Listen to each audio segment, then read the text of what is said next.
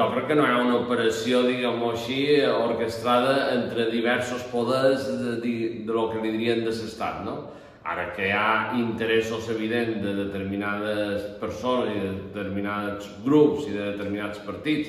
de que el PI desapareixi del mapa polític i que li és una nosa i que per tant millor si no existís, jo crec que això, això sí que existeix. Bueno, és que poden tenir dificultats per obtenir un govern a les Illes Balears si el PI existeix i és determinat i sobretot és que no podrien fer les polítiques que desitgen si el PI és determinant eh, en la majoria de polítiques de les Illes Balears. En quin moment se troba la nostra formació? Bueno, la nostra formació s'està refent d'una determinada convulsió interna que se va produir eh,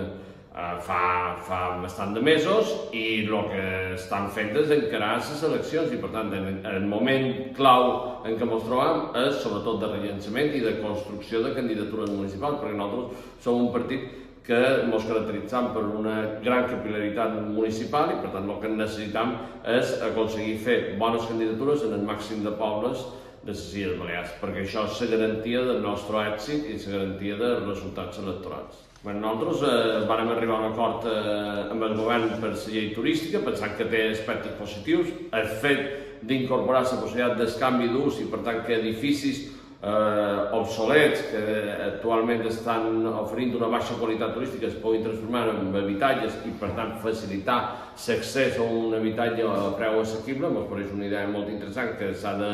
desenvolupar els pròxims mesos. També s'aposta per la modernització de l'establiment i per tant guanyar qualitat en l'establiment no pareix necessari. Ara no, compartint, eh, no poden compartir en absolut el tema de la moratòria de places, així com ho han fet nosaltres no defensam cap augment de places a les Illes Balears, el que defensam és que no hi hagi una congelació i per tant que pugui haver intercanvis sense cap creixement de places perquè si no estem creant una cronificació en el principal motor econòmic de les Illes Balears. Bé, nosaltres, com, com és públic i notori, defensam un concert econòmic i defensam un règim especial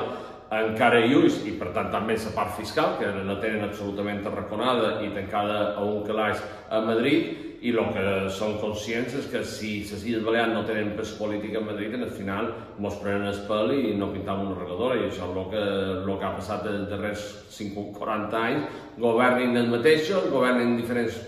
colors polítics, a Madrid o a Palma, en el final el resultat és el mateix. Estan a sacó de tot, man com pagar impostos, continuen sent una vaca munyir i la vaca evidentment necessita aliment, necessita activitat i necessita que no se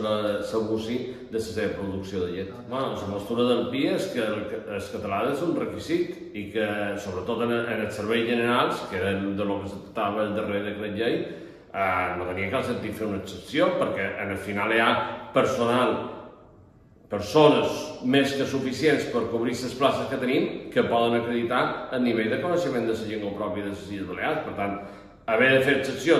en tot cas en l'àmbit sanitari, perquè no hi ha metges suficients a nivell de català, bueno, podria ser una discussió, però és que en el servei general ja no hi ha ni aquesta discussió. Hi ha persones suficients amb coneixement de llengua, però fem una excepció per intentar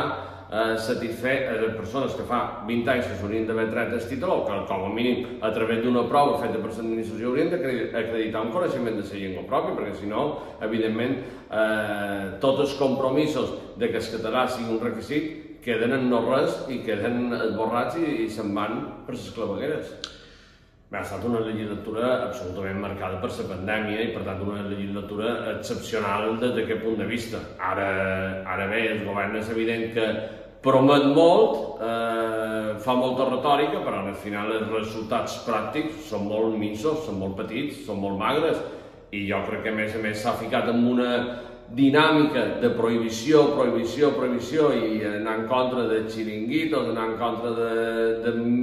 costums molt arrelades a les Illes Balears que al final li passarà factura perquè la gent no entén tanta limitació i aquest afany prohibitiu que està manifestant el govern.